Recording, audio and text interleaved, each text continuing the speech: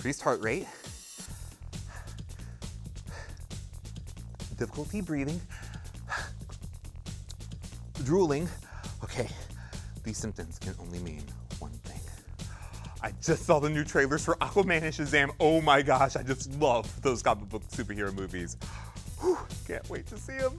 Uh, um, now, if your pet is experiencing any of these symptoms, it's probably not because they're excited to go see the movie uh, in the theater like me.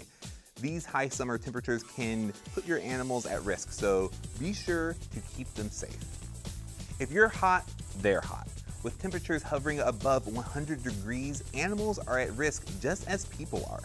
Fort Worth Animal Care and Control reminds Fort Worth residents to care for their pets and to look out for these animals in distress.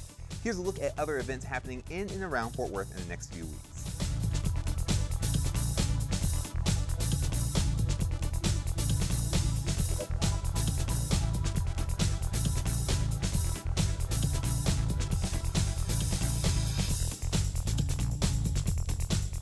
For a listing of more events and city meetings, you can always check the calendar at the city's website.